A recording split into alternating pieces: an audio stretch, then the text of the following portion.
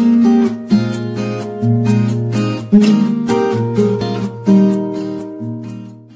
morning, dear student. Assalamu alaikum. This is Mohammad Saddam Hossein, Assistant Teacher in English, Srishti Central School and College, Rajshahi. Dear student, how are you all? I hope you all are well by the grace of Almighty Allah.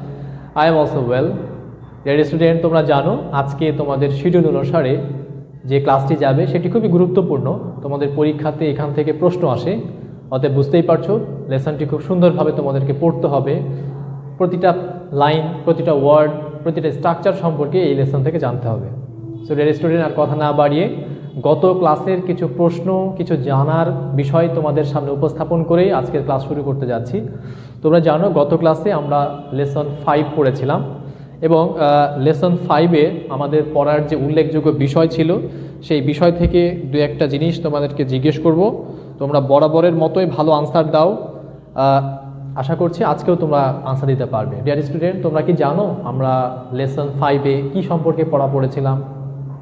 Thank you thanks for your work আমরা lesson ফাইভে পড়েছি thanks for your work এরপরে প্রশ্ন, বলতে পারবে সেখানে কার সম্পর্কে বলা হয়েছে? অর্থাৎ সেই জায়গায় একটা ক্যারেক্টার সম্পর্কে আমরা পড়েছি। তোমাদের কি তার নাম মনে আছে?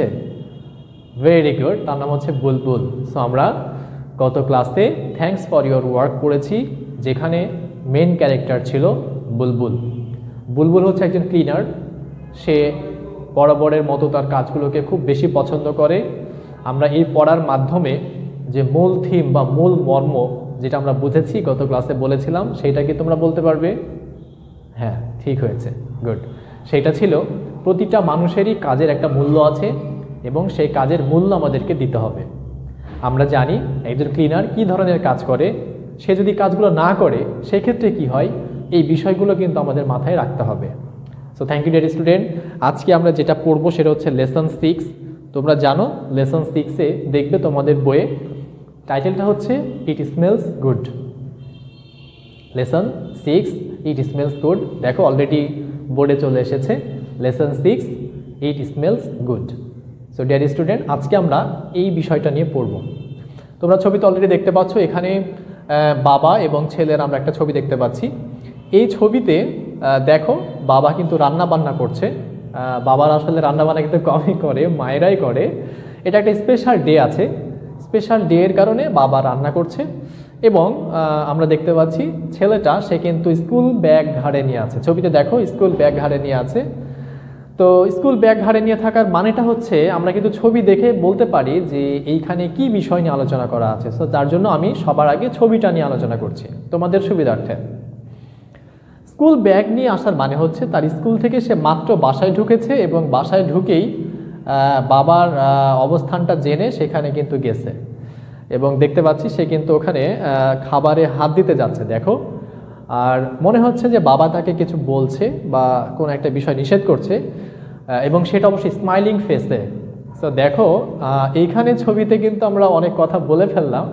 আসলে এই কথাগুলোই কিন্তু আমাদের বইয়ে বা আমাদের যে পড়াটা আছে, সেই পড়ায় দেওয়া আছে। তোমরা নিশ্চয়ই জানো। আমরা যে বিষয়গুলো পড়ছি, এখানে কিন্তু ডায়ালগ বা কনভারসেশন তোমাদের কাছে আর নতুন বিষয় না, এটা অনেক পুরনো একটা বিষয়। সো ডায়ালগ এবং কনভারসেশন এই আকারেই কিন্তু আমাদের পড়াগুলো আগিয়ে যাচ্ছে। সিমিলারলি এইখানেও আমরা একটা ডায়ালগ কনভারসেশন বা এরকম পড়া পাচ্ছি, কথোপকথন পাচ্ছি। এবং একটা এই ডায়ালগটা হচ্ছে একটা ফ্যামিলি ডায়ালগ দ্যাট মিন্স ফ্যামিলির কথাবার্তা। ফ্যামিলির মধ্যে বাবা, মা, বোন, ভাই, এই ধরনের ক্যারেক্টার নিয়ে এই ডায়ালগটা তৈরি করা হবে। সো ডিয়ার স্টুডেন্ট আমরা সেকশন এতে যাই। সেকশন এ হচ্ছে রিডিং সেকশন এখানে রিডিং পড়াগুলো আছে। আমরা রিডিং পড়ার প্রতিটা লাইন পড়ার চেষ্টা করব। প্রতিটা লাইনের উল্লেখযোগ্য বিষয়গুলো তোমাদেরকে জানা, জানায় দিব এবং এটার স্ট্রাকচারটাও তোমাদেরকে বুঝিয়ে দেবো, ইনশাআল্লাহ। সো অ্যাজ ইউ নো দেখ ছবিতে আমরা যে বিষয়টা দেখছি, এখানে থেকে আমরা যদি পড়াতে যাই, তাহলে দেখবে প্রথম লাইনে বলা আছে ইটস স্যাটারডে ইটস স্যাটারডে দেখো চলে এসেছে ইটস স্যাটারডে দ্যাট মিন্স শনিবার, এটা হচ্ছে শনিবার। So it's Saturday Amul school is open so আমরা বুঝতে পারলাম, এখানে যে ছেলেটাকে দেখতে পাচ্ছি, তার নাম হচ্ছে আমল সে হচ্ছে আমল যার নাম হচ্ছে এ এম আমল এ এম এ এল আমল।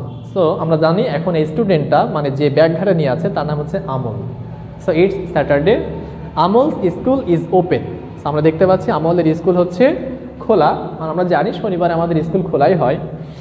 এরপরে বলেছে যে but Friday and Saturday are fathers weekly but Friday and Saturday are fathers weekly মানে শুক্র এবং শনিবার হচ্ছে বাবার উইকলি মিনস হচ্ছে কি? ছুটির দিন। দ্যাট মিনস বাবা দুইটা দিন ছুটি পায়। And the days are Friday and Saturday so দুইটা দিন বাবার ছুটির দিন। এখন এই ছুটির দিনে বাবা কি কাজ করে? সেই বিষয়টাকে আস্তে আস্তে ডেভেলপ হবে এখানে। সো দেখো বলেছে যে উইকলি হলিডেজ মানে বাবার ছুটির দিন। Father sometimes loves to cook special dishes for the family father sometimes loves to cook special dishes for the family. পরিবারের জন্য বাবা মাঝে মাঝে কিছু স্পেশাল স্পেশাল মানে কি? স্পেশাল মানে আমরা বাংলাতে স্পেশালি বলি। স্পেশাল মানে হচ্ছে অসাধারণ, স্পেশাল মানে হচ্ছে অন্যরকম এই ধরনের কিছু খাবারের ডিশ বাবা তৈরি করে। দেখো, তো আমরা এখান থেকে যেটা জানলাম যে শুক্র এবং শনিবার বাবার ছুটির দিন। এই দিনগুলোতে বাবা পরিবারের জন্য that means Amal Amal's mother and his younger sister এদের জন্য কিছু স্পেশাল ডিশেস তৈরি করে, যে ডিশগুলো তারা একসাথে মজা করে খায়। পরিবারের জন্য তারা এগুলোকে মজা করে খায়। ওকে এখানে বলেছে everyday on Saturday it's two o'clock that means সময়টাও বলে দেওয়া আছে ইটস টু ও ক্লক মানে এখন দুইটা বাজে। এরপরে কি বলছে, দেখো time for Amal's to come back home from the school school থেকে আমলের বাসায় ফিরে আসার সময়। সো দুইটার সময় আমল স্কুল থেকে কি করে? বাসায় ফিরে আসে। আমরা কিন্তু এটা এখান থেকে দেখতে পাচ্ছি। এরপরে দেখো কি বলেছে যে mother is sitting in the table mother sitting table মা টেবিলে বসে আছে। আর আমরা জানি দুইটার সময় হচ্ছে lunch time so lunch already prepare হচ্ছে কিচেনে এবং মা টেবিলে বসে আছে। তো এখন কি বলবে দেখো? আমল মাকে বলছে যে Amal's two younger sister are playing in the living room আমরা এখান থেকে জানতে পারলাম যে আমলের দুইজন, দুইটা ছোট বোন আছে এবং they are playing in the living room তারা লিভিং রুমে খেলা করছে ইন দ্যাট টাইম মানে এখানে কিন্তু বলা হচ্ছে গোটা ফ্যামিলির যে ক্যারেক্টারগুলো আছে, তাদের স্ট্যাটাস বলছে সিচুয়েশান বলছে, কে কী কাজ করছে, এই বিষয়গুলো বলছে। সো ড্যার স্টুডেন্ট এতক্ষণ ধরে যে বিষয়গুলো পড়লাম, এখানে বিস্তারিতভাবে বলে ফেলেছি, কে কি কাজ করছে কার জন্য ছুটির দিন? কে কোথায় গেছে? কে কি করছে? কয়টা বোন, কয়টা ভাই, মা কি করছে? সব কিছু কিন্তু তোমাদেরকে বলে ফেলা হয়েছে। ঠিক একই রকমভাবে যদি আমরা এই কথাগুলো মনে রাখতে পারি, তাহলে কিন্তু আমরা আমাদের ফ্যামিলির নিজেদের যে বিষয়গুলো আছে সেগুলো বলতে পারব। সাপোজ সেম জিনিস যদি তোমাকে বলা হয় যে according to Amal write something about your family আমলকে মাথায় রেখে, মনে রেখে বা আমলের মতো করে তুমি তোমার ফ্যামিলির সম্পর্কে একটা প্যারাগ্রাফ বা কিছু একটা লিখো। অবশ্যই তুমি কিন্তু এইভাবে লিখতে পারবে। আমি এত সুন্দরভাবে প্রতিটা লাইন পড়িয়ে বুঝিয়ে দেওয়ার মানে হচ্ছে তোমার ভেতরে যেন এই জিনিসটা কাজ করে যে আমল মানে হচ্ছে তুমি তুমি হচ্ছে আমল। সো তুমি তোমার ফ্যামিলির এ ধরনের স্পেশাল দিনগুলোকে কীভাবে উল্লেখ করবে সেই বিষয়গুলো যেন তোমার কাছে ক্লিয়ার হয়ে যায়। সো ডিয়ার স্টুডেন্ট এরপরে আমরা কি পাচ্ছি দেখো। The doorbell rings Amal comes in শেষ লাইনটা হলো the doorbells ring that means দরজায় যে বেল আছে, সেইটা বাজলো। Amal's come in. আমল কি করল? ভেতরে আসলো। এই পর্যন্ত ছিল আমাদের প্যাসেজ রিডিং। এবার থেকে আমরা আসব কনভারসেশনে। সো দেখো ডেড স্টুডেন্ট আমরা কনভারসেশনটা সুন্দরভাবে এখন বুঝব এবং এখানে কি বিষয় বলা আছে, আমরা প্যাসেজ আকারে যে জিনিসটা ছিল, সেইটা এতক্ষণ আলোচনা করলাম। এই জায়গাটা তোমাদেরকে বলে বোঝানো হলো। আশা করি এখানে সব কিছুই তোমাদের মাথায় এখন পরিষ্কারভাবে গেছে। এখন আমরা বা তোমাদের যে কাজটা হবে, সেই কাজটা হচ্ছে যেভাবে আমরা প্যাসেজটা পড়লাম, বুঝলাম, একই রকমভাবে নিচে যে ডায়ালগগুলো আছে, সেই ডায়ালগগুলো আরও সিম্পল সেন্টেন্সে বলা আছে, সেখানে আরও সহজভাবে বলা আছে। এবং কন্টেক্সটের সাথে অনেক সামঞ্জস্যপূর্ণ একটা ডায়ালগ দেওয়া আছে। আমি একটু তোমাদেরকে হাইলাইট করে দিচ্ছি।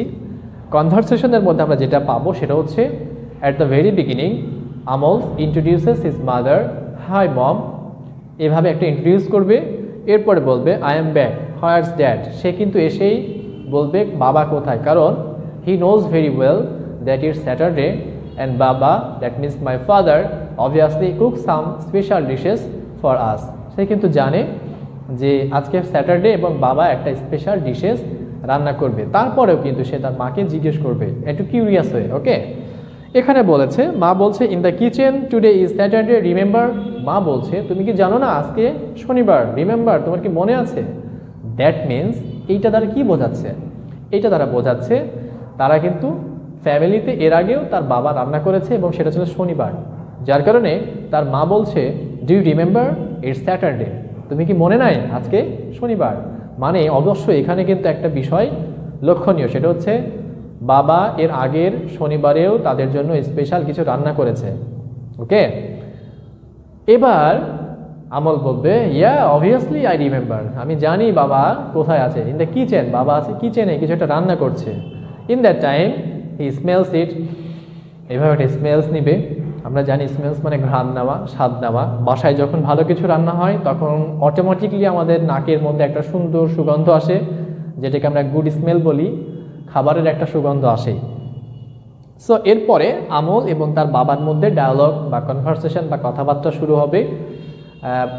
আমলের বাবা রান্না করছে morog polao and one of the famous one of the best dishes for Amal. আমলের কাছে এটা সবচেয়ে গুরুত্বপূর্ণ এবং সবচেয়ে মজাদার একটা ডিশেস সেটা হচ্ছে মোরগ পোলাও। সো সেই মোরগ পোলাও রান্না করছে, তার বাবা এটা জেনে আমল খুবই খুশি হবে এবং আমল তৎক্ষণাৎ কিচেনে গিয়ে সেটা খাওয়ার চেষ্টা করবে বাট হিজ ফাদার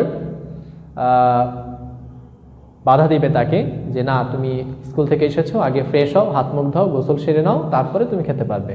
সো দেখো ডিয়ার স্টুডেন্ট এখান থেকে আমরা যে বিষয়টা জানলাম সেটা হচ্ছে কিছু রুলস রেগুলেশন আছে, আমরা বাইরের থেকে গিয়েই কোনো কিছু খেতে পারব না বা খাওয়া উচিত নয়, আমাদেরকে ফ্রেশ হতে হবে হাইজিন হইতে হবে রিফ্রেশ হতে হবে, তারপরে আমরা খেতে পারব। সো এটা হচ্ছে আমাদের শেষের অংশের মেসেজ ফার্স্টের দিকের মেসেজগুলো তোমাদেরকে পরিষ্কার করে বলা হয়েছে।